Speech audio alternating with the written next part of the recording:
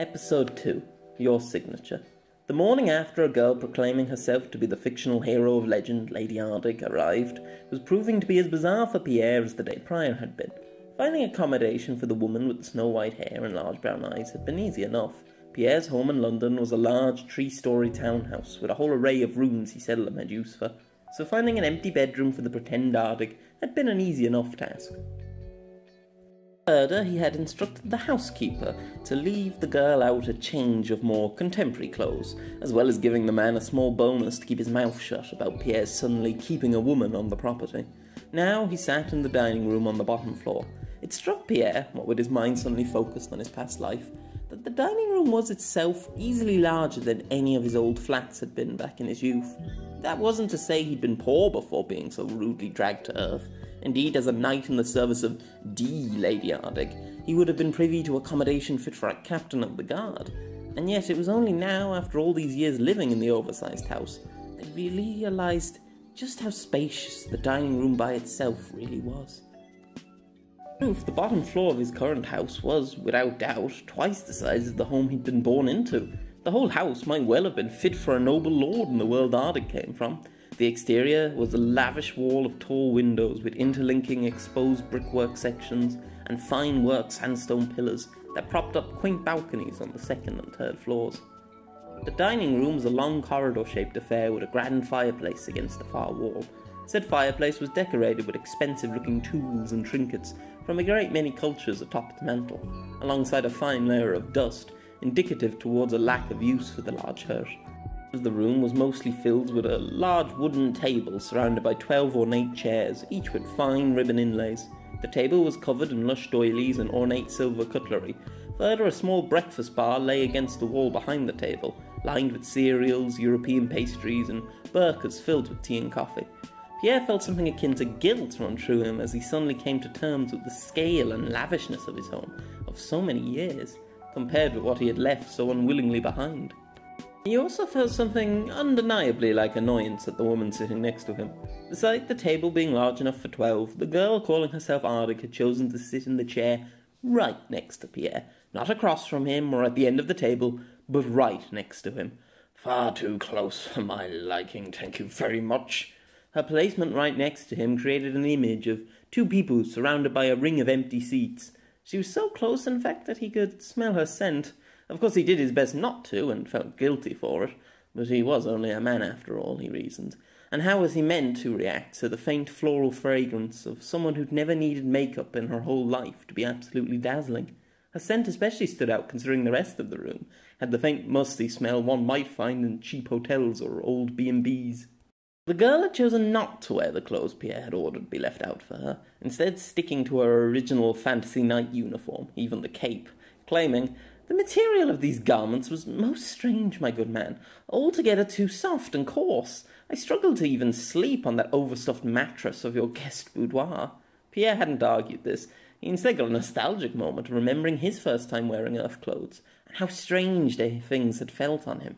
A far cry from his current regime of slippered feet, warm cardigan, and tin waistcoat, or his first nights on earth spent in shop doorways or police custody cells because the beds of any hostile that would take him felt alien to the touch. And this? asked the soft but excitable voice belonging to the person Pierre was currently labelling not Ardig, as she pointed towards a large bowl of porridge. Made from oats, I believe, Pierre said back. And that one? Wheat based. And that one with the um, the large orange and black menacingly grinning creature on the front? Pierre rose an eyebrow at this question, before realizing the cartoon brand of cereal not Ardig had gestured towards. Hmm? Oh, yes, maize, barley, and far too much sugar. Probably best you avoid ones like that. Last thing I need is your medieval digestive system getting a massive sugar rush. Medieval? N- never mind. Pierre sighed. This conversation on the various make-ups of foodstuffs and other arbitrary items around the house had been going on for quite some time now unsurprising considering Ardig's medieval origins. Not Ardig considered Pierre's responses for a few moments before asking her next query. But do you not find it strange, Jem? Pierre. What? Call me Pierre. Jem hasn't been my name for a very long time. And besides, if someone heard that a young woman was not only living in my house, but also had some sort of private pet name for me, well, the broadsheet newspapers would be all over it. I see, the young woman mused, clearly thrown off her stride. Speaking of which, wherever has that young butler gone? I called for him to bring me better clothes, but he did never return. Ah, so that's what all the shouting was earlier. He's no butler, he's a part time housekeeper. He does an hour here in the morning and the evening. Luncheon I prepare for myself, Pierre added. Only two hours a day? But how can such a thing be possible? In a house as large as this, you must surely have a whole retinue of staff. Pierre sighed again. Nope. Two hours a day is more than enough for him to keep the parts of the house I use most tidy. The rest is of little confidence. You mentioned a guardsman just last night. Not Ardig shot back. Pierre flushed a little with embarrassment. Ah, well, yes, not exactly. The whole street pays a modest sum to have a man patrol the entire thing for a bit nightly. But he, um, is not exactly my guard. The girl's face turned to a broad grin, and she poked teasingly at Pierre's cheeks, causing them to redden even further. Oh, my old friend, it seems you have not changed as much as I thought. You were always one for the crafty plans. If one cannot afford a guard on every door, then one should spread rumours to the contrary. In spreading your mistruth, you deter the least determined of would-be cap purses with words alone, yes? And all without spending a penny on guards of your own. Pierre's blush grew even deeper. Well, yes, I suppose that's the gist of it, yes. I see your cheeks also still shine when I tease you such. They, at least, have not forgotten who I am, she cooed, poking playfully. Pierre, for his part, stood up out of his chair, brushing away the woman's soft fingertips. He strode grumpily around the long table and stood by one of the large paned windows, running his hand through the plump red curtains that adorned it. Not Ardig frowned at having her fun stopped, before turning her attentions back to the conversation at hand. So you have no guardsmen or servants here? None at all, Pierre said dryly, his eyes now fixed on the street outside the window. No spouse or child? No cousins or apprentices for your craft? No. But isn't that awfully lonely? the woman asked in all sincerity. Pierre's hand held frozen in the air before he coughed up a response. Some people do not mind being alone, you know. Not Ardig frowned again, deeper this time. Uh, do you still not believe I am the woman you once knew, Pierre Havelock? It was his turn to frown back at her. I do not deny you in order to cause hurt. There are simply too many inconsistencies between you and the Lady Ardig I was acquainted with. In fact, I have been considering the possibility of a, a multiverse. You know, that perhaps you're some alternate version of Ardig from the whole other. He didn't get chance to go any further with his musings, as the silver glint of a sword coursed through the air towards his neck. Up to. It had happened in a single flush movement, almost too fast for the human eye. Altardig, as Pierre was now considering addressing her, had launched from her chair, used the table as a stepping stone, sending a veritable collection of cutlery and condiments astrew, before drawing her sword in a single flourish. Said sword had gone straight through one of the red, heavy-set curtains Pierre had been admiring, cleaving the thing in half as Pierre stumbled backwards out of surprise grabbing the slash curtain to try and regain his balance, only to cause the remaining fabric to rip off the rails and fall lifelessly to the ground with a slick clicking sound. He wanted to ask what in God's name was going on, but he didn't get the chance. Altardig stamped forward twice in a fencing style maneuver, a beaming grin across her ever pretty face. Before he knew it, Pierre was swaying from side to side, the blade barely glancing his grey sideburns as he deftly, if a little clumsily, dodged the assault. This caused Ardig's smile to grow even larger, she ended her short assault in order to make up an expert stance, gleaming silver sword outstretched in one hand, the other held behind her back. She hopped lightly between her feet like some prize boxer might before a fight, her every movement light and controlled. What's that phrase? Move like a butterfly, sing like a bee. Well, this bee's sting is half a metre of cold hard Governor steel. Pierre lamented internally, but this time he took action. Dashing behind himself, he grabbed up the fire poker from the mantelpiece. Like everything in the house, it was of an ornate but practical make. A long shaft of stainless steel with a heavy poker to one end and a small loop to the other. Placing his fingers through the loop, he managed to raise the awkwardly balanced staff, just in time to block a diagonal strike from his young friend's blade. Terrible clanging as the ad hoc weapon met with real craftsmanship. The hell are you doing, girl?